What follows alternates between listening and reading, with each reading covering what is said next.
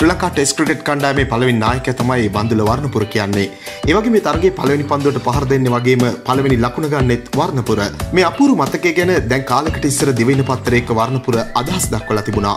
මට ශ්‍රී ලංකා ජාතික කණ්ඩායමේ නායකත්වය ලැබුණේ 1979 ලෝක කුස්ලාන තරගාවලියෙන් පස්සේ. 79 ලෝක කුස්ලාන තරගාවලියේදී මම උපනායකයා වුණා. අපේ නායකයා වුණු අනුර තෙන්නකෝන් විශ්‍රාම ගියාට පස්සේ තමයි මට නායකත්වය ලැබුණේ. අපේ පළමු ටෙස්ට් තරගයේ නායකයා කවුද කියලා තෝරන්න පොඩි අවුලක් තිබ්බා. පළමු ටෙස්ට් තරගයේදී මට නායකත්වය දෙන්නේ නැතුව වෙන කාට හරි දෙන්න ඕන කියන මතේ කට්ටියක් හිටියා. එතෙන්දී මතුනේ නායකත්වය දෙන්නේ දුලිප් මෙන්ඩිස්ටද මටද කියන එකයි. ওই ගැටලු ඉතින් සාමාන්‍ය දේවල්. පළවෙනි ටෙස්ට් තරගයේ අනුර රන්සිංහ කියන සුපිරි ක්‍රීඩකයා කපලා අර්ජුන ඇතුළත් කිරීම ගැන ඒ කාලේ ඉඳන් ක්‍රිකට් ශාස්ත්‍රයේ තියෙන කතාබහ ගැන බන්දුල දීලා තිබුණේ මෙහෙම පිළිතුරක්. අපි පළමු ටෙස්ට් තරගයට 55ක සංචිතයක් නම් කළා. එතනින් හොඳ 15 හෝ 20 තෝරන එක නෙමෙයි අපිට එදා ප්‍රශ්නේ තිබ්බේ. පළමු ටෙස්ට් තරගයේ අන්තිම 11 දෙනා කවුද කියන එක තමයි තිබුණ ලොකුම ප්‍රශ්නය. තරගයට ඉස්සර වෙනිදා අපි 10 දෙනෙක් තේරුවා. ඒ 10 දෙනා අතර පාසල් ක්‍රීඩකයෙක් වුණු අර්ජුන රන්තුංගත් හිටියා. ඔහු ඒ කාලෙදී පාසලේ හොඳින් දක්ෂතා දක්වලා තිබ්බේ. නමුත් ගොඩක් කට්ටිය හිතුවේ අන්තිම ප්ලේස් එකට තරග තිබ්බේ අර්ජුන හා අනුර රන්සිංහ අතර කියලා. නමුත් අන්තිම ප්ලේස් එකට තරගය තිබ්බේ අනුර රන්සිංහ සහ ලලිත් කළුපෙරුම අතර.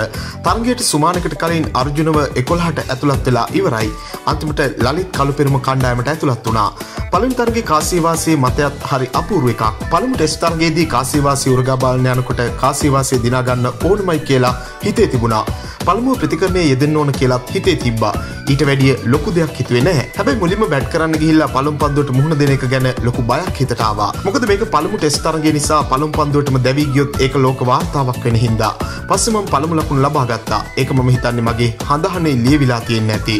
පළමු ටෙස්ට් තරගයේ නායකත්වය ලැබීමත් දෙවියන් දුන් ආශිර්වාදයක්. අපි පළමු ටෙස්ට් තරගය ගහන කාලේ දවසට රුපියල් 400යි ලැබුණේ. සමහර තරඟ දවස් 4න් ඉවර වෙනවා. එතකොට දවස් 4කටයි මුදල් ලැබෙන්නේ. හැබැයි පිටරට මැච් එකකට ගියාම කැප්ටන්ට වෙනම ගාණක් ලැබෙනවා.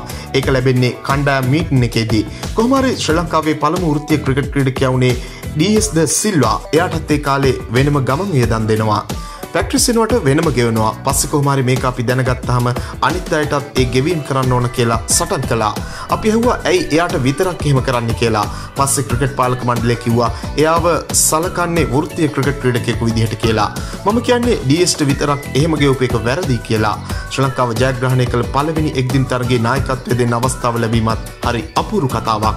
අපි දිනපු පළමු එක්දින තරගයේ නායකත්වය දීමෙන් ගැටලු මතු වුණා කුමාරි නිත්‍ය නායක අනුර තෙන්නකෝන් අසනීපුන් නිසා මට නායකත්වය කරන්න අවස්ථාව ලැබුණා. සුනිල් ගවස්කා වැනි ප්‍රබල ක්‍රීඩකයන් එදා ඉන්දියානු කණ්ඩායමේ හිටියා. මේ විදිහට ශ්‍රී ලංකා ක්‍රිකට් ක්‍රීඩාවේ අපූර්ව මතකයන් රාශියකට සම්බන්ධ වුණු වර්ණපුර තමගේ ක්‍රිකට් ජීවිතය අවසන් කරන්නේ තහනම් දකුණු අප්‍රිකා සංචාරයක් නිසා. මේ ඒ ගැන වර්ණපුර කියන දේ. අපි දකුණු අප්‍රිකාවේ තහනම් සංචාරයකට ගියේ තහනමක් බලාපොරොත්තු වෙන්නමයි.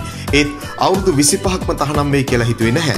උපරිම අවුරුදු දෙක තුනක් තහනම් වෙයි කියලා තමයි හිතුවේ. ඒ කාලේ එංගලන්ත ක්‍රීඩකයනුත් ඔය වගේ වරදක් කළා. එයට දීලා තිබුණේ අවුරුදු 3ක වගේ තහනමක්. ඒ කාලේ අපිට ක්‍රිකට් ආයතනයක් එක්ක කිසිම කොන්ත්‍රාත්තුවක් තිබුණෙත් නැහැ. දකුණු අප්‍රිකානු සංචාරය සංවිධානය කළේ ටෝනි ඕපා. එයා ඕලන්දේ ඉඳලා අපිට ලැබෙන ගෙවීම් සහ දකුණු අප්‍රිකානු සංචාරය කොහොමද වෙන්නේ කියන සියල්ල සංවිධානය කළා. ලංකාවේ මේක සංවිධානය කළේ දුලිප් මෙන්ඩිස් සහ රොයි ඩයස්. නමුත් ඒගොල්ලන් ගමන්ට සහභාගී වුණේ නැහැ. ඒ දෙන්නට දීර්ඝකාලීනව නායකත්වය සහ උපනායකත්වය දීලා පාලක මණ්ඩලය ඒ අයව නවත්ත ගත්තා. පාලක මණ්ඩලය අපිත් එක්ක සාකච්ඡා කළා නම් අපිව දකුණු අප්‍රිකාවට යන එක නවත්තන්න තිබ්බා. ඒ සංචාරයේදී මට ඩොලර් 30000ක් හම්බ වුණා. අනිත් අයට එක එක ගණන් ලැබුණා. අපිට ලැබුණු සල්ලි වලින් අපි ගෙවල් හදන එක තමයි කළේ. ශ්‍රී ලංකාවේ ක්‍රිකට් වලට විශාල සේවයක් කළ අර්ජුන් රණතුංගගේ ක්‍රිකට් ජීවිතයත් අවාසනාවන්ත විදිහට අවසන් වෙන්න තිබුණු අවස්ථාව වළක්වාගත්ත මතකයක් අපූරු මතකයක්. අර්ජුන් රණතුංගවත් ඔය දකුණු අප්‍රිකාවේ කියන්න කට්ටිය හැදුවා.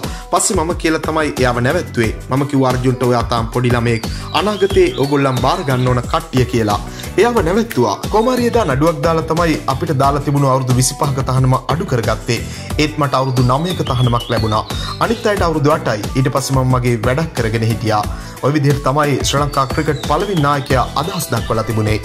මෙවැනි වීඩියෝ දිනපතා බලන්න අපිත් සමග එකතු වන්න. ඔබ තාමත් අපේ channel එක subscribe කරලා නැත්නම් දැන්ම අපිව subscribe කරන්නත් ක්‍රිකට් වලට කැමති ඔබේ යාළුවෙකුට බලන්න මේ වීඩියෝ share කරන්නත් අමතක කරන්න එපා. ක්‍රිකට් පිටියේ නැවුම් දේ සපිරි තවත් අලුත් වීඩියෝවකින් හමු වනතුරු ක්‍රිකට් ලංකාවෙතින් ඔයාට සුබ දවසක්.